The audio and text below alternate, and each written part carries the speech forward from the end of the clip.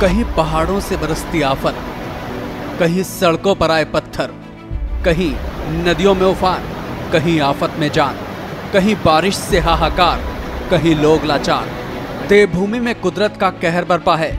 केदारनाथ से लेकर गंगोत्री तक प्रकृति अपनी विनाश लीला दिखा रही है। तेज बारिश में हुए लैंडस्लाइड के बाद सड़कें जाम हो गई हैं। पहाड़ों से आया भारी मलबा, सड़कें भी अपने साथ बहा ले गया है। गंगोत्री नेशनल हाईवे पर नेताला के पास से सामने आई तबाही की इन तस्वीरों को देखिए। जहाँ सड़क हुआ करती थी, वहाँ अब मलबे का ढेर है और उसी मलबे के ढेर में फंसी है एक कार।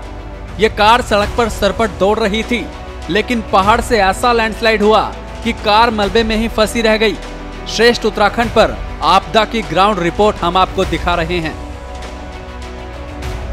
इसी मार्ग पर पीछे की ओर आपको गाड़ियों की लंबी कतार नज़र आएगी। ये गाड़ियाँ मार्ग बंद होने की वजह से हाईवे पर ही फंस गई, जिससे यात्रियों को भारी परेशानियाँ झेलनी पड़ी। जब कई घंटों तक गाड़ियाँ जरा भी आगे नहीं बढ़ी तो यात्री अपनी गाड़ियों से नीचे उतर आए। इस दौरान कई यात्री पैदल ही सफ़र करते हुए नज़र आए। तो कई लोग ऐसे भी थे, जो अपनी जान जोखिम में डालकर मलबे के बीच से पैदल ही आगे बढ़ने की कोशिश कर रहे थे। भारी बारिश और लैंडस्लाइड से उत्तरकाशी के डूडा ब्लॉक के सिरी गाँव में ज़बरदस्त तबाही हुई है।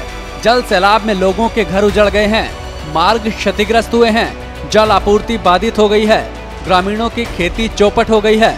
तो वहीं पशुधन का भी नुकसान हुआ है। गंगोत्री विधायक सुरेश चौहान ने अफसरों के साथ सिरी और उडरी गाँव का निरीक्षण किया। अफसरों और जनप्रतिनिधियों ने आपदा से हुए नुकसान का आकलन किया और ग्रामीणों को हर संभव मदद का भरोसा भी दिया।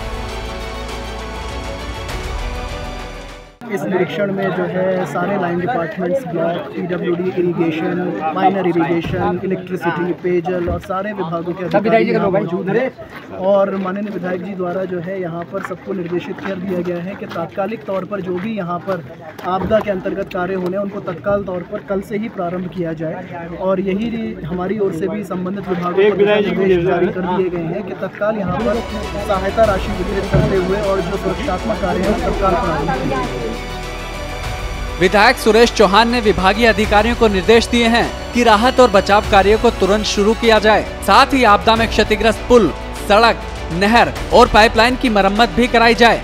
साथ ही जिन ग्रामीणों को आपदा में नुकसान हुआ है उन्हें आर्थिक मदद भी उपलब्ध कराई गई है। बहुत ज़्यादा नुकसान हुआ। कई मवेशी में दब कर जो है ख़त्म हो गए और जो अभी पता लगा कि पाँच छः मकान जो है उनका पता नहीं लग रहा। लोग बाल बाल बच गए। तो ये सबसे बड़ी है कि कोई जनहानि नहीं हुई पशु हानि ज़रूर हुई। और तमाम काश्तकारों के खेत रह गए तो फौरी तौर पर तमाम रास्ते जो है, जो टूट गए हैं, उनको बनाने के लिए निर्देशित कर दिया गया है कि ग्रामवासियों को कि तत्काल जो पाँच सात रास्ते, जो जनून रास्ते हैं स्कूल के और जो तमाम रास्ते हैं, और जहाँ पे बस्ती है, वहाँ पे फ़िलहाल के लिए वायर गेट से व्यवस्था की जा रही है। टेम्प्रोरी पुलियों के, पुलिया के लिए जो है, निर्देशित कर दिया गया है कि टेम्प्रोरी पुलिया तत्काल बनाई जाए। उत्तराखंड में बारिश अपने साथ भारी आफत लेकर आई है। जल सैलाब और लैंडस्लाइड ने ज़िंदगी को मुश्किलों में डाल दिया है। बारिश से लोगों को भारी नुकसान हुआ है। ग्रामीणों के घर उजड़ गए हैं और खेती बर्बाद हो गई है। ऐसे में ग्रामीणों को सरकार से ही मदद की आस है।